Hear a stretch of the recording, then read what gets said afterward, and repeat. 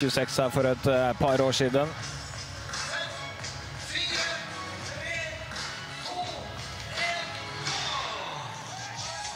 Der er de i gang. Nydelig å se dette startfeltet over Rådhusplassen igjen etter et års ufrivillig pause i koronatiden. Så inntar eh, noen av Norges beste løpere igjen Oslos eh, gater. Her er det mange som har sine egne mål, som har trent bestemt mot dette.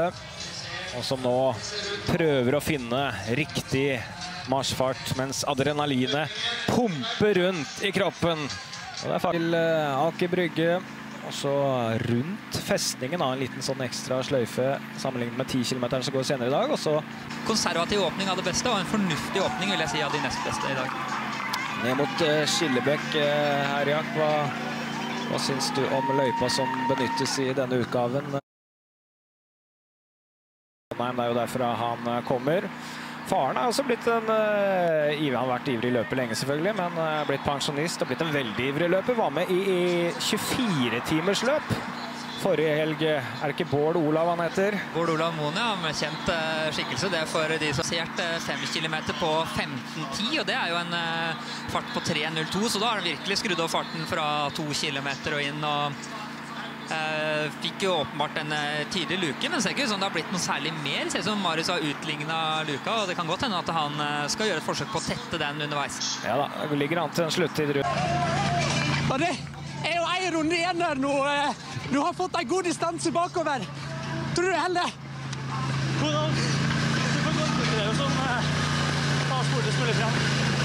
Og skal han få løpe videre, så skal jeg ta en pust i bakken iallfall. Han smiler der, eh, Sondre Nordstad Moen. og Det er tøft uh, satsa av eh, Odd Sidre her. Det er ikke hver dag han ligger i lett motbakke i tre blank per kilometer. Skjønte fort at ikke det ble et dybdeintervju. Jeg skal litt til, og Sondre også var fokusert på det å komme fortest mulig fremover, selv om han har fått god løke på Marius Vedvik her nå. Så nå er det jo Sondre mot eh, klokka, mer enn Sondre mot eh, Marius, vil jeg si. Følte seg bra, iallfall. Det klarte han det siste året.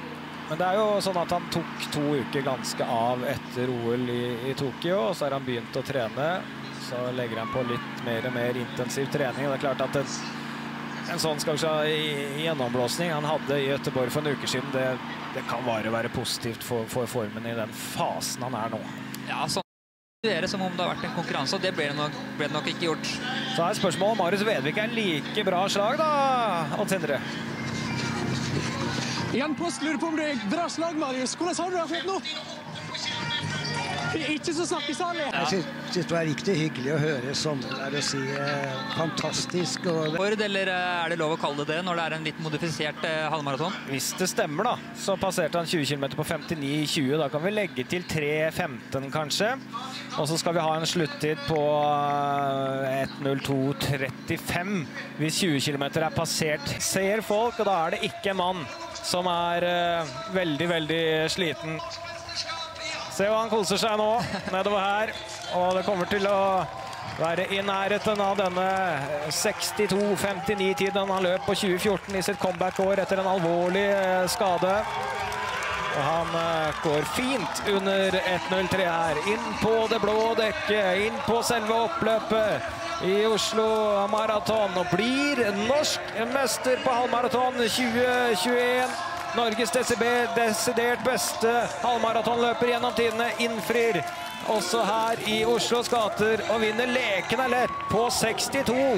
42, Det raskeste som er løpt i Oslo Maraton eh, noen gang. Iallfall så vidt Jack Waltz husker, og da, da tror jeg det er sånn. Overbevisende nå. Forestillingen av eh, Sondre her. 1.02,42. Det hadde jeg ikke verken trodd eller håpet på. Og for en eh, velfortjent fortjent, ros fra Marianne Borgen der. Veldig overbevisende av Sondre i dag. jeg hadde et håp om dette her, for jeg, jeg tror akkurat det han gjorde nå, det var viktig.